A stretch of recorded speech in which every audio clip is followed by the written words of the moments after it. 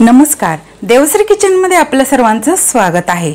आता सध्या कडक उन्हाळा सुरू आहे आणि अशा कडक उन्हामध्ये लिंब खूप महाग झालेले आहेत.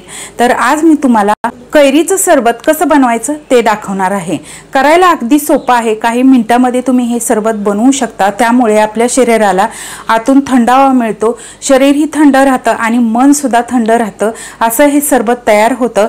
तर झटपट होणारी रेसिपी आहे. या पद्धतीने तुम्ही नक्की करून पहा.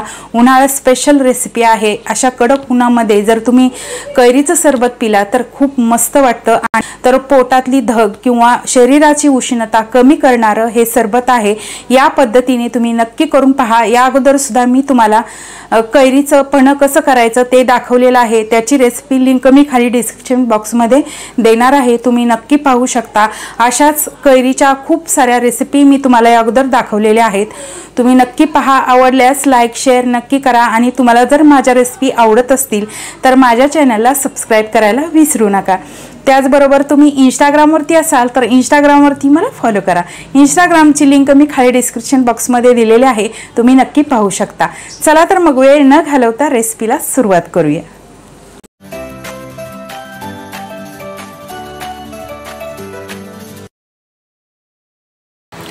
कैरीचा सरबत बनवण्यासाठी इथे मी दोन कैऱ्या घेतलेल्या आहेत. कैऱ्या छोट्या आहेत म्हणून मी दोन वापरते आहेत. तुमच्याकडे मोठी असेल तर एक घेतली तरी चालेल. मोठी कैरी असेल तर साधारण चार ते पाच ग्लास सरबत होतो. आणि अशा दोन छोट्या असतील पाच ते सहा ग्लास सरबत तयार होतो. आणि सरबतासाठी आपल्याला मीठ आणि साखर लागणार आहे. साखरेचं प्रमाण हे पुढे आपण पाहणार आहोत. तर सुरुवातीला आपल्याला हे या कैऱ्या स्वच्छ धुवून घ्यायच्यात पुसून घ्यायच्या आहेत. आणि नंतर आपल्याला याची साल काढून घ्यायची आहे. तर आता आपण सुरुवातीला याची साल काढून घेऊयात. याचा पूर्ण देठ काढून घ्यायचा आणि अशा पद्धतीने याची वरची सगळी साल काढून घ्यायची. जेवढा याचा हिरवा भाग आहे तो आपल्याला बाजूला काढून घ्यायचा आहे. कारण कैरीची साल जर सरबतामध्ये गेली तर त्याची चव तुरट किंवा कडवट अशी लागू शकते. त्यासाठी पूर्ण या कैरीचा वरची साल आपण काढून घेऊया. आता साल काढून झाल्यानंतर या कैरीचा पूर्ण गर आपल्याला काढून घ्यायचा आहे आणि कोय मात्र बाजूला काढून घ्यायची आहे.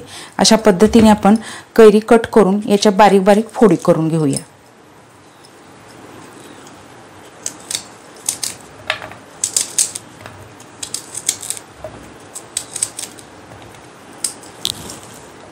सगळ्या कैरीच्या फोडी मी करून घेतल्या. अशा पद्धतीने कोय बाजूला काढून घेतलेली आहे. आणि या कैरीच्या फोडी एक वाटी झालेल्या आहेत. तर वाटीने मोजून घ्यायच्या म्हणजे आपल्याला साखरेचा अंदाज येतो. आणि आता यामध्ये आपल्याला एक वाटी साखर घालायची आहे. आणि चवीनुसार थोडंसं मीठ घालायचं आहे. तुम्हाला हवं असेल तर यामध्ये तुम्ही पुदिना सुद्धा घालू शकता. पुदिन्याचा फ्लेवर सुद्धा या कैरीच्या सरबतामध्ये खूप मस्त लागतो. तुमच्या आवडीनुसार तुम्ही घालू शकता. आता आपण हे सुरुवातीला मिक्सरवरती बारीक करून घेऊया. अगोदर आपण हे न पाणी घालता बारीक करून घेणार आहोत. नंतर यामध्ये पाणी घालून बारीक करून घेणार आहोत. याची छान अशी बारीकशी पेस्ट तयार करून घ्यायची आहे. अगोदर न पाणी घालता बारीक करून घेतलं आणि नंतर थोडंसं पाणी घालून बारीक करून घेतलेलं आहे. एकदम छान असं बारीक झालेलं आहे. तरीसुद्धा यामध्ये अधूनमधून असे कैरीचे तुकडे राहतात. तर आपल्याला हे आता गाळून घ्यायचं आहे. यामध्ये आपण आणखी थोडंसं थंड पाणी घालूयात. आणि आपण एका भांड्यामध्ये हे गाळून घेऊयात.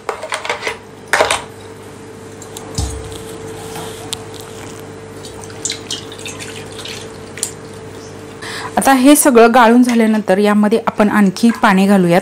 थंड पाणी घालायचं आहे. एकदम मस्त असं चटपटीत चविष्ट आणि पौष्टिक कैरीचं सरबत आपलं तयार झालेलं आहे. ग्लासमध्ये काढून घेऊया.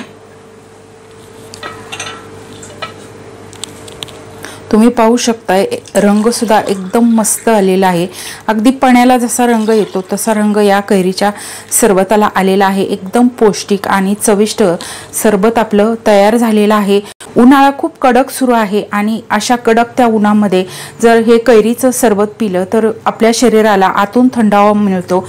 शरीरही थंड राहतं आणि मनसुद्धा आपलं थंड राहतं. तर अशा पद्धतीने या उन्हाळ्यामध्ये नक्कीच कैरीचं सरबत तुम्ही करून पिऊ शकता. एकदम चविष्ट आणि पौष्टिक असं सरबत तयार होतं. याला थोडीशी कैरी लावून तुम्ही एकदम मस्त असं डेकोरेशन करू शकता.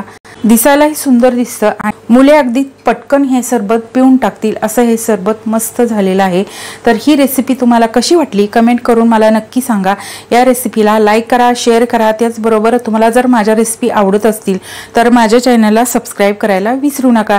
त्याचबरोबर बेल आयकनवरतीही क्लिक करा. म्हणजे मी जेव्हा जेव्हा माझ्या रेसिपी अपलोड करेन तेव्हा तेव्हा सर्वात आधी त्याची नोटिफिकेशन तुम्हाला मिळेल आणि माझे प्रत्येक नवीन आणि पारंपरिक पद्धतीच्या रेसिपी तुम्हाला पाहता येतील. धन्यवाद